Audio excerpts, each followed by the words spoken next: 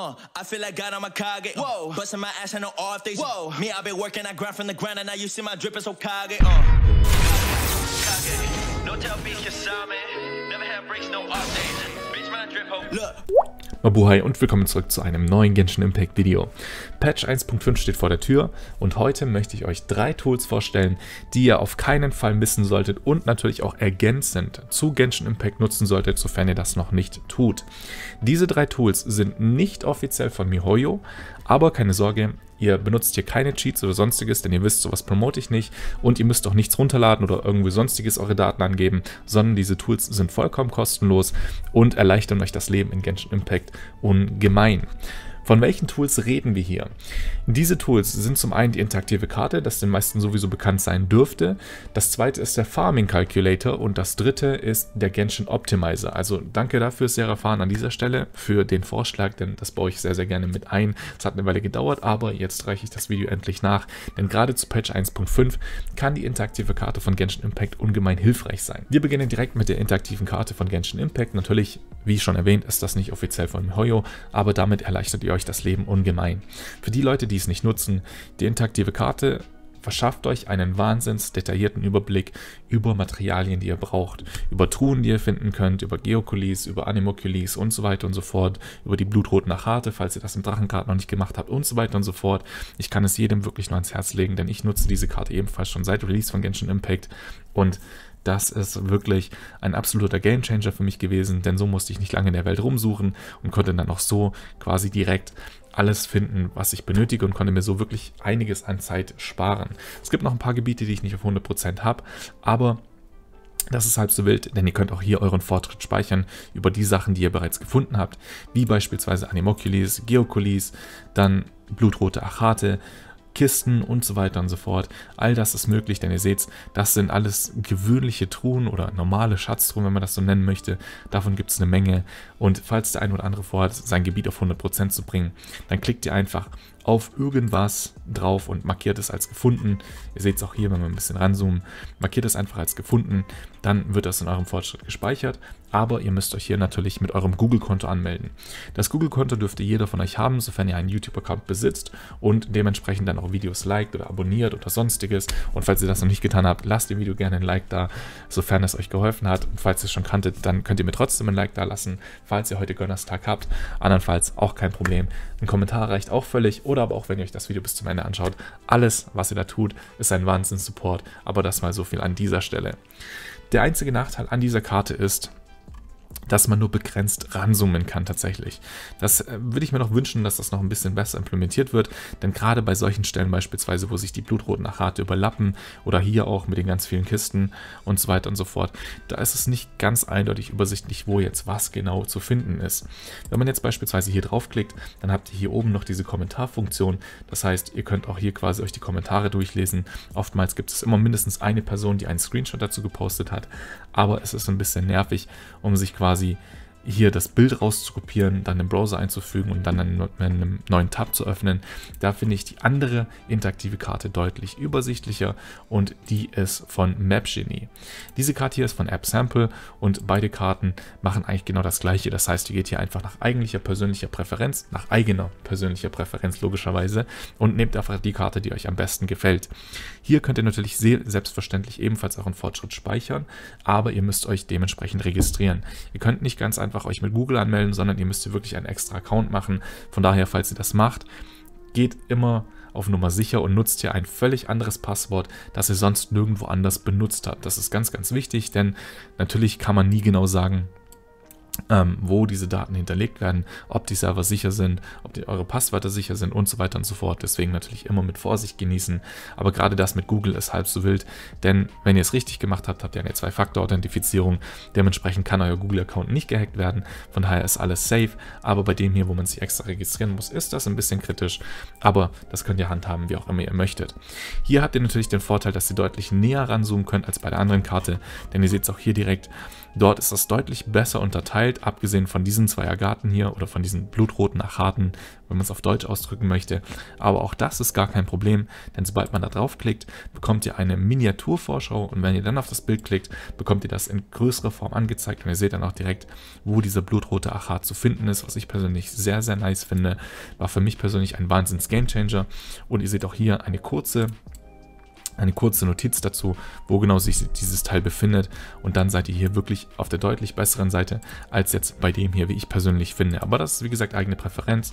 Ihr könnt das handhaben, wie auch immer ihr möchtet. Ihr bekommt alle Gegner angezeigt, die es zu finden gibt, alle Ressourcen, die ihr benötigt und so weiter und so fort.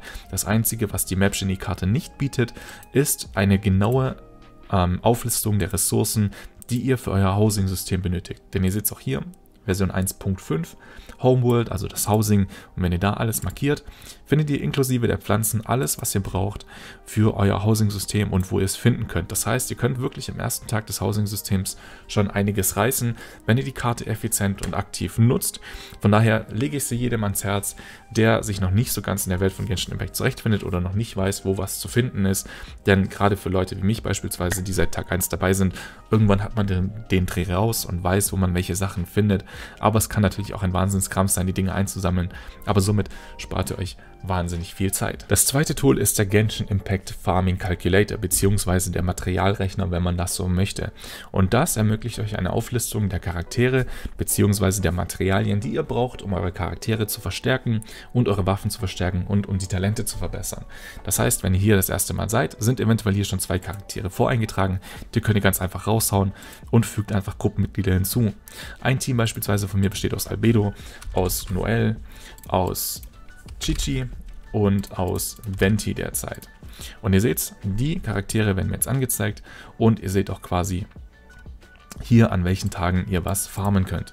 Für das Talent für, für Noel beispielsweise brauchen wir den Widerstand bzw. das Buch Widerstand gibt es dienstags, also heute, kostet 20 ursprüngliches Harz, denn wir müssen dafür natürlich eine Sphäre machen und so habt ihr auch eine genaue Übersicht an Dingen, die ihr benötigt und natürlich auch anhand der Kosten, wie viel ursprüngliches Harz ihr pro Run benötigt.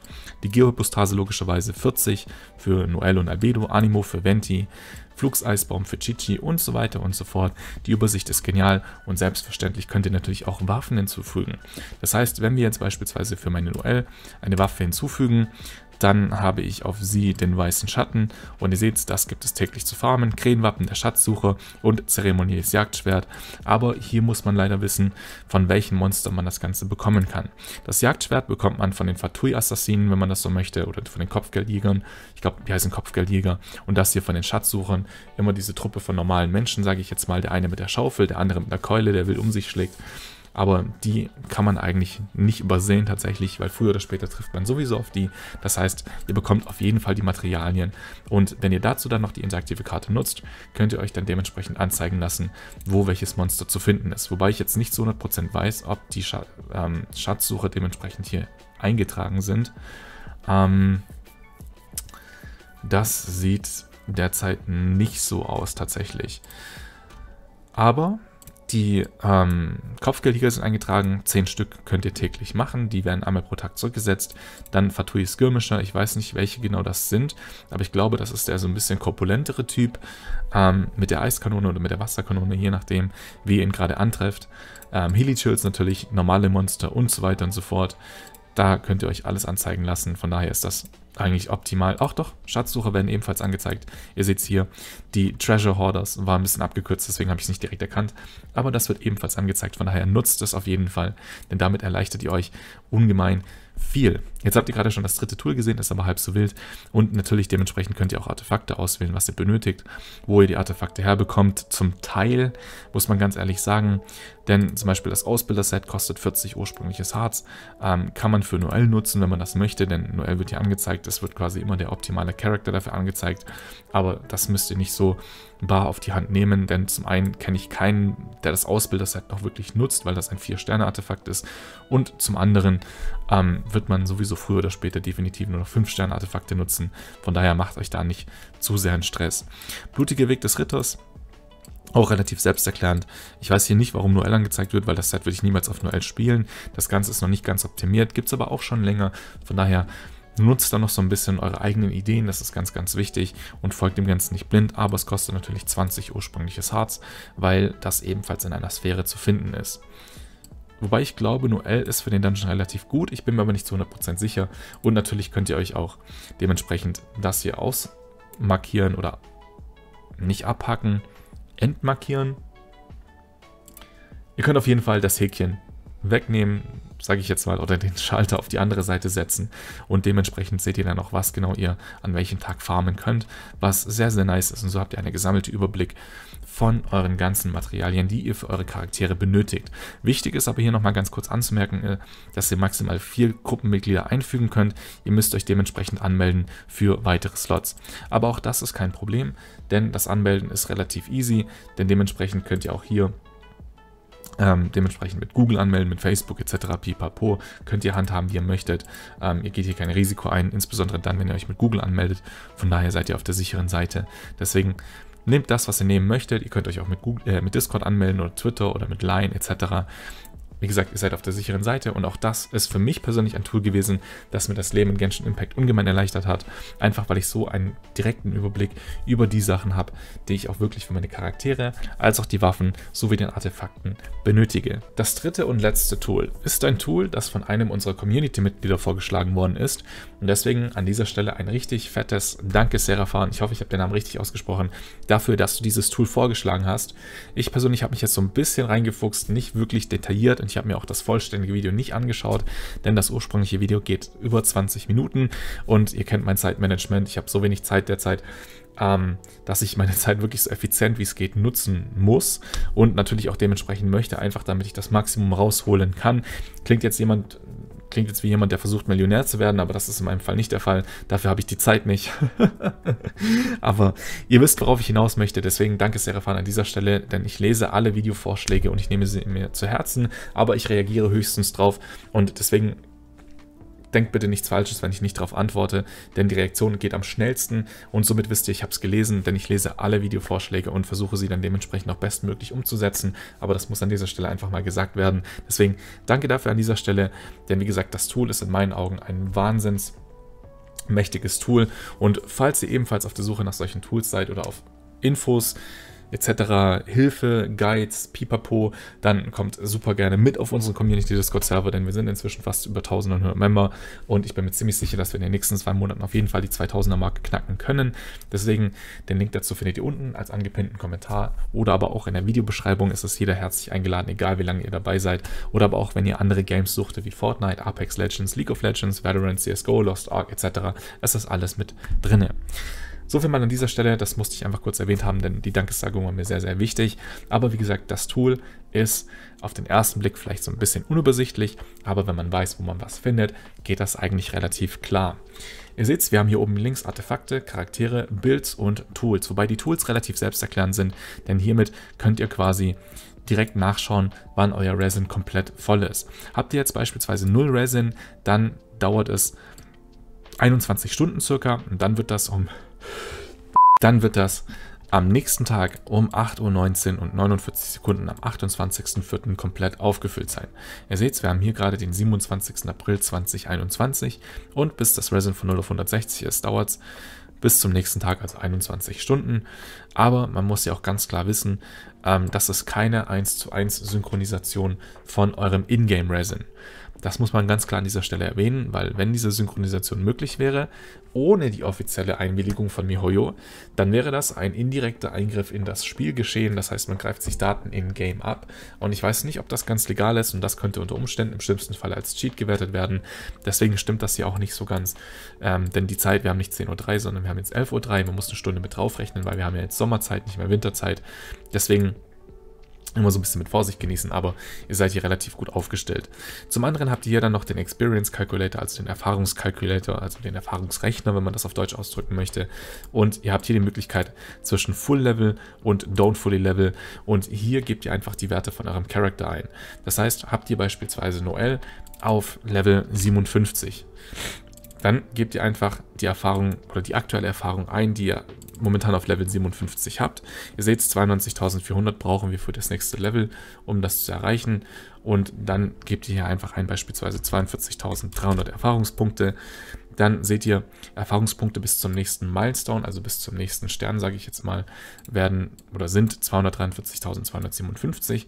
Und dann gebt ihr hier noch euer Mora ein, ganz, ganz wichtig, wie viel Mora ihr habt, denn damit wird auch ausgerechnet, ob ihr wirklich die nötige Kohle habt, um das Level abzumachen. Oder aber auch, ob ihr nicht, zu, äh, ob ihr nicht vielleicht sogar zu wenig Mora habt, um den Charakter aufzuleveln. Dementsprechend gehen wir jetzt einfach mal ein. Wir haben jetzt 383.200 Mora ähm, in dem Fall und ihr seht, Final Mora sind immer noch 383.200. Je nachdem, wie viele Bücher wir hier auswählen, ähm, bekommen wir dann dementsprechend das Mora abgezogen. Das heißt, wir wählen jetzt mal hier zwei Bücher aus, klicken auf Apply. Das seht ihr jetzt nicht, das ist hier unterhalb von, von diesem 2. Da steht dann Apply. Wir applyen das Ganze. Ihr seht, Final Mora 375.200. Wir haben jetzt 82.300 Erfahrungspunkte und haben zwei von den Büchern ähm, verwendet. Dementsprechend fehlen uns jetzt nur noch ähm, 10.100 Erfahrungspunkte, bis wir dann Level 58 mit Noel erreicht haben. So könnt ihr so ein bisschen planen, wie viele Bücher ihr benötigt und wie viele Mora ihr braucht. Gerade dann, wenn ihr beispielsweise einen Charakter auf Stufe 1 habt, ähm, mit 0 Erfahrungspunkten, sage ich jetzt mal, dann könnt ihr auf Apply klicken. Dann seht ihr, bis zum nächsten Meilenstein sind es 120.000 Erfahrungspunkte, die wir benötigen. Und dementsprechend könnt ihr dann nach und nach eure Charaktere aufleveln und könnt dann dementsprechend auch so ein bisschen mit den Büchern sparen. Aber das geht auch in-game sehr gut, wie ich persönlich finde. Ihr bekommt hier halt nur eine gesammelte Übersicht, wie viele Erfahrungspunkte ihr braucht, um das Ganze dementsprechend aufzuleveln. Das mächtigste an diesem Tool sind die Artefakt- und Character Builds, die ihr hiermit erstellen könnt. Das wirkt jetzt ein bisschen unübersichtlich, wie vorhin schon erwähnt, aber es ist relativ selbsterklärend, wenn man ungefähr weiß, wo man was findet. In dem Fall könnt ihr entweder selbst die Artefakte hinzufügen oder aber auch ihr könnt sie schlichtweg einfach einscannen. Und das Einscannen ist mitunter die einfachste Möglichkeit, denn sobald ihr ein Artefakt mal habt, dann klickt ihr einfach hier auf Upload Artefakt Screenshot File, klickt da drauf, wählt euren Screenshot aus und dementsprechend sieht das Ganze dann so aus. Wichtig ist, dass der Setname zu sehen ist und dass das Ganze auf Englisch ist. Das heißt, ihr müsst vorübergehend euer Game auf Englisch stellen, damit ihr die ganzen Namen auf Englisch habt, weil wenn es auf Deutsch ist, erkennt ihr das nicht, denn den Optimizer gibt es derzeit leider nur auf Englisch. Nichtsdestotrotz, der Name muss zu sehen sein, der Mainstat muss zu sehen sein, dann die Substats und natürlich auch plus 20 muss zu sehen sein und natürlich auch, wie gesagt, der Set-Name. Aber wenn ihr diese Screenshots aus dem Character-Menü heraus macht, wenn ihr die Screenshot aus dem Character-Menü herausmacht, dann seht ihr diese gelben Punkte rumfliegen und das kann unter Umständen dazu führen, dass er keine Substats erkennt. Dann müsst ihr diese Substats manuell hinzufügen. Das heißt, wir gehen nach hier oben, ihr seht, er hat das hier selber ausgefüllt und dann wählen wir die anderen Substats aus. Wir haben hier Flat Verteidigung, wir haben hier Flat Angriff, wir haben Crit Damage und wir haben Crit Rate.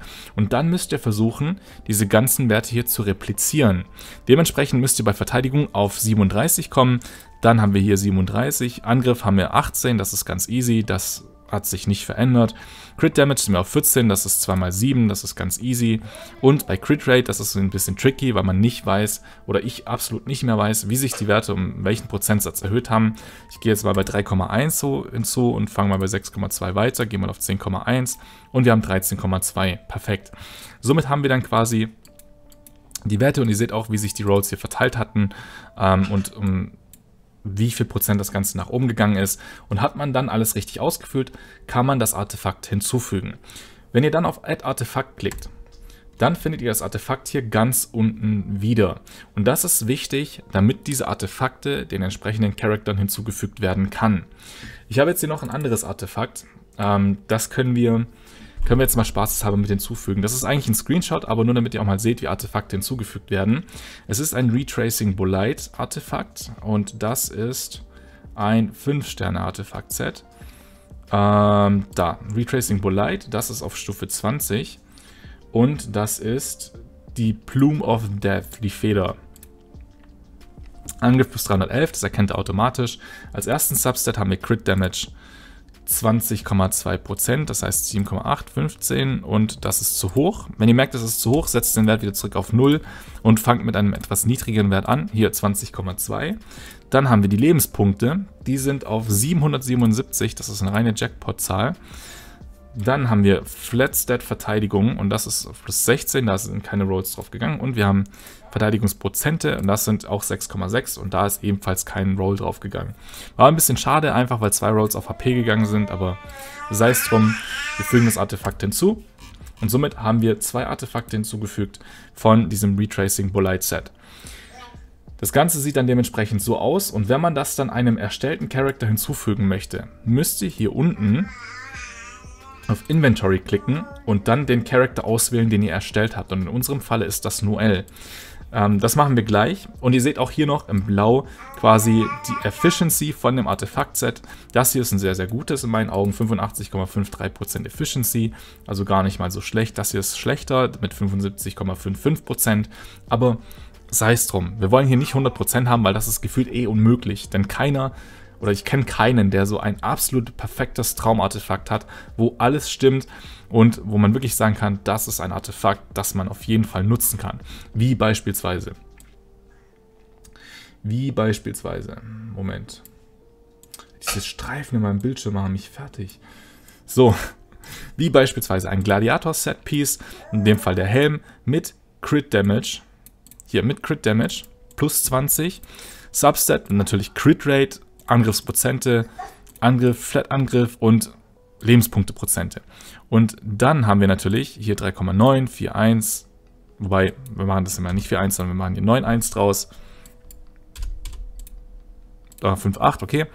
Dann haben wir hier 14 und 4,1 und dann sind alle anderen Rolls auf Crit Rate gegangen. So, wir haben alle Rolls auf Crit Rate und ihr seht, das ist das perfekte Artefakt schlechthin, wenn man das so möchte, mit was Crit Rate und Crit Damage betrifft. 62,2% Crit Damage, 15,6% Crit Rate ist einfach ein Traum, wenn man das so möchte. 7,8, 11,7, 15,6.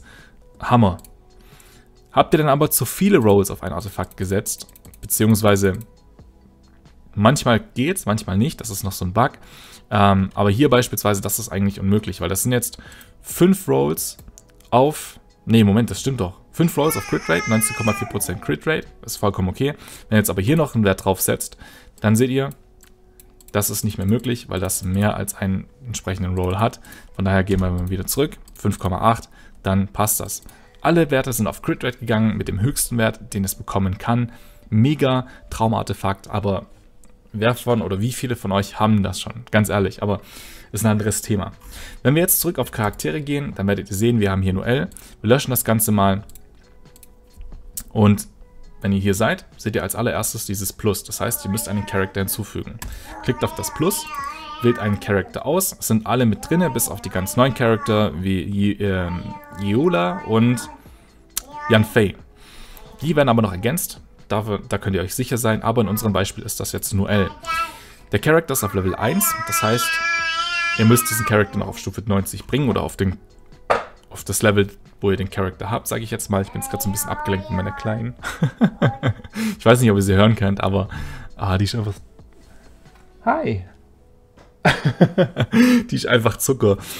Dann klickt ihr auf Stats Template, Level 90, denn meine Noelle ist auf Level 90 und sie nutzt nicht das Basis 1 Sterne Schwert, sondern sie nutzt ähm, den weißen Schatten, das ist White Blind dann wählt ihr das Level der Waffe aus, genau hier, das ist ebenfalls Level 90. Dann den Refinement Grad, das ist Refinement 2 bei mir. Und dann klickt ihr auf Exit und somit haben wir einen Level 90 Charakter mit einer Level 90 Waffe. So sieht mein Manuell momentan aus und mein Manuell ist auf C6. Habt ihr eine entsprechende Konstellation, wie beispielsweise Zhongli auf C1, klickt hier einmal drauf oder habt ihr beispielsweise Zhao auf C2, klickt hier drauf und somit könnt ihr dann eure Konstellation mit auswählen, denn irgendwann fließen diese Werte mit in das Ganze mit ein und damit haben wir quasi schon mal den Anfang. Wenn wir jetzt die Artefakte hinzufügen wollen, können wir das nicht hier über Artefakts machen. Ähm, das ist ein bisschen schade gemacht. Ähm, das geht hier leider nicht über Artefakts, sondern wir müssen zurück, hier oben links auf Artefakts, dann ganz nach unten scrollen. Jetzt muss ich das Fenster wieder ein bisschen nach oben schieben. Und wie ihr es vorhin gesehen habt, auf Inventory und dann Noel auswählen. Das machen wir jetzt zweimal. Wir haben jetzt eine Crit Rate von 13,2% und insgesamt 34,2% Crit Damage mit hinzubekommen. Wenn wir jetzt aber, wenn wir jetzt zurück auf Characters gehen, dann werden wir sehen, wir haben die Crit Rate mit hinzubekommen mit 13,2% und wir haben 34,2% Crit Damage.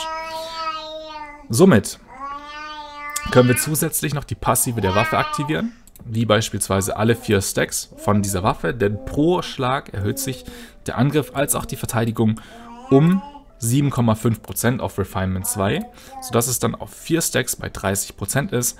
Das, ihr seht es auch hier, wir haben dann quasi ähm, Verteidigung plus 998 und noch zusätzlichen Angriff plus 539. Das ist in meinen Augen das Schwert schlechthin für Noel. Es gibt kein 5-Sterne-Schwert, das so gute Stats mit sich bringen kann, gerade was Angriff und Verteidigung betrifft. Und wenn man das hier auf Refinement 5 hat, alter Schwede, das ist einfach nur insane. Finde ich sehr, sehr gut, gefällt mir auch sehr, sehr gutes Schwert, gerade auf Noel. Denn ihr wisst, Noel ist einer meiner Lieblingscharakter geworden inzwischen tatsächlich.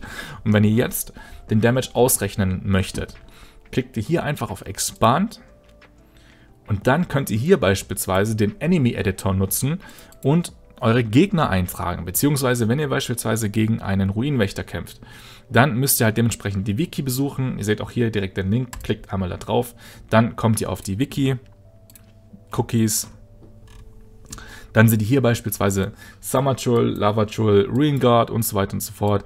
10% Elementresistenz, 70% ähm, Physical Resistenz.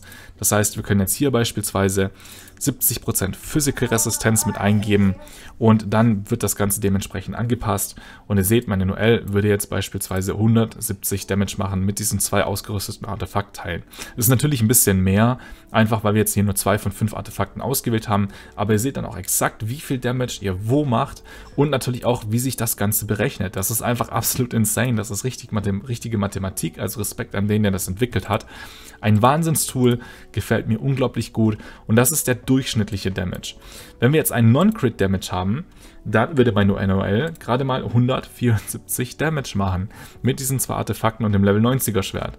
Es ist jetzt aber ein Crit-Hit. Sind wir jetzt bei 271 Damage, was schon mal nicht so schlecht ist. Also es ist sehr, sehr nice. Skill Damage 2235 ist ebenfalls sehr, sehr gut. Shield Damage Absorption und so weiter und so fort. Ihr seht hier wirklich alles. Wirklich komplett alles. Zu den Artefakten hier seht ihr auch nochmal das Ganze, äh, was dann hinzugefügt worden ist.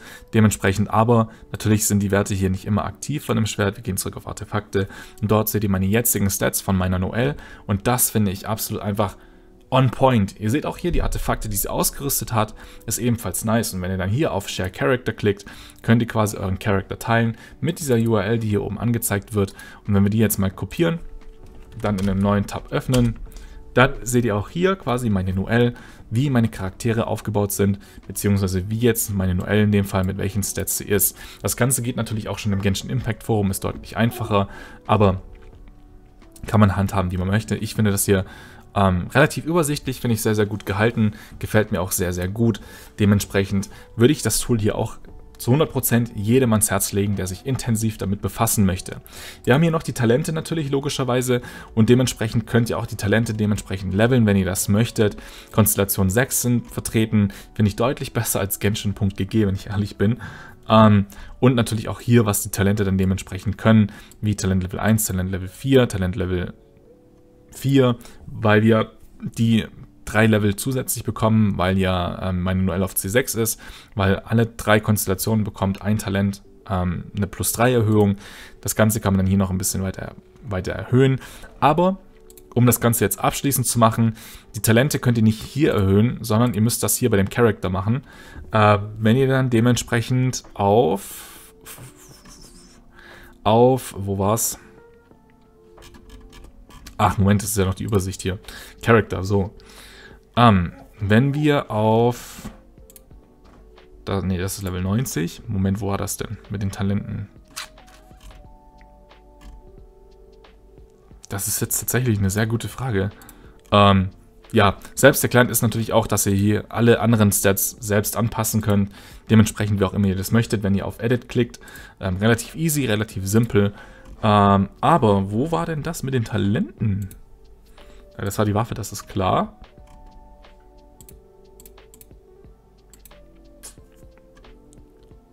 Ähm, Talents? Ach, hier. Talente. Ihr seht's, ihr seht's hier. Einfach, einfach draufklicken und dann auswählen. Ich weiß nur nicht, warum das hier bis auf Level 11 geht, weil ich glaube, Level 10 ist das höchste, was momentan derzeit eigentlich möglich ist. Und bei den Skills hier Level 13, das ist klar. Bei mir ist die Ulti von Null auf Level 13 und das hier auf Level 12. Ähm, Und dementsprechend seht ihr auch, wie viel Damage eure Talente machen würden, wenn ihr ähm, das mit den jeweiligen Artefakten ausgerüstet habt und so weiter und so fort. Also super easy, super simpel, wenn man weiß, wo man was klicken muss. Ging jetzt auch doch wieder länger, jetzt habe ich es doch ausführlich erklärt. Aber ich hoffe sehr, dass vor allem dieses Tool irgendjemandem helfen konnte, gerade wenn ihr ein bisschen deeper in eure Stats reingehen möchtet, ein bisschen deeper in die Charaktere, was die Analysen betrifft, gerade was den Damage Output betrifft, was zukünftige Character Builds betrifft und so weiter und so fort. Und ich werde wahrscheinlich auch in Zukunft meine Character Builds hierdurch dann machen, je nachdem wie das Ganze dann aussieht. Ähm, wir werden es sehen, weil in-game finde ich es dann doch nochmal ein bisschen besser. Einfach, weil man dann auch so ein bildliches Material hat. Aber sei es drum. So viel mal zu den ganzen Tools. Wie gesagt, ich hoffe sehr, dass ihr was damit anfangen konntet. Es gibt noch eine letzte Anmerkung und zwar gibt es hier oben diesen Reiter Builds. Wenn ihr da draufklickt, könnt ihr quasi ein Bild generieren, aber ihr müsst dann halt dementsprechend auch noch ähm, Artefakte hinzufügen und so weiter und so fort. Ihr könnt auch hier einfach Use Equipped Artifacts nutzen, aber ihr müsst dementsprechend alle fünf Teile ausgerüstet haben, damit ihr die ähm, die Equipped Artefacts nutzt, weil sonst kann er kein wirklichen Bild erstellen.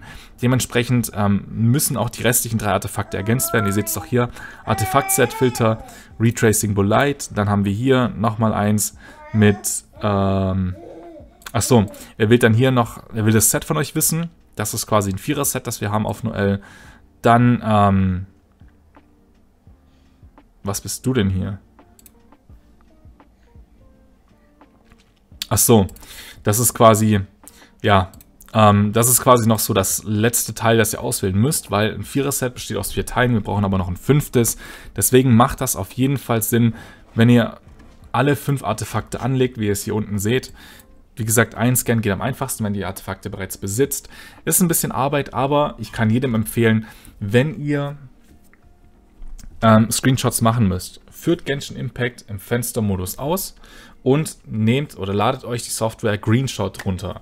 Ist relativ einfach, denn ihr seht es auch hier, Greenshot, ähm, mega nice. Wenn ihr dann da draufklickt, dann könnt ihr natürlich die Software downloaden und sobald das Ding installiert ist, drückt ihr einfach auf eure Druckentaste auf der Tastatur und könnt dann dementsprechend, ihr seht es auch hier schon mit dem ganzen Ding, könnt euch dann dementsprechend das Fenster auswählen, wie ihr den Screenshot machen wollt. Das Ganze seht ihr jetzt leider nicht, ähm, aber ist super easy. Ich werde es wahrscheinlich nachträglich noch einblenden, aber damit könnt ihr die Screenshots relativ einfach machen und seid dann auch wirklich so sehr, sehr gut aufgestellt. So viel mal zu den heutigen Videos und was die drei Tools betrifft. Ging jetzt auch wieder lange genug. Ich wollte das eigentlich viel, viel kürzer halten, aber ich bin jetzt dann doch detaillierter geworden, als ich eigentlich dachte. Wie gesagt, das sind in meinen Augen die Top 3 Tools, die man in Genshin Impact auf keinen Fall missen sollte. Wenn es euch geholfen hat, dann lasst mir super gerne einen Daumen nach oben da. Es würde mir persönlich sehr helfen und es würde auch anderen Leuten sehr, sehr helfen, denn mit dem Daumen nach oben habe ich gelernt, ist das so, dass auch andere Leute das Video vorgeschlagen bekommen und vielleicht erleichtert es dem einen oder anderen das Leben in Genshin Impact ungemein. Mich würde es freuen, wenn das der Fall ist und bis dahin gilt natürlich und wie immer auch Vielen Dank, dass ihr euch das komplette Video bis hierhin gegeben habt, sofern ihr das gemacht habt und nichts geskippt habt. Aber auch trotzdem, wenn ihr hier immer noch dran seid, vielen, vielen Dank dafür. Und dann sehen wir uns wie immer im nächsten Video. Und bis dahin macht's gut, bleibt auf jeden Fall gesund und Peace.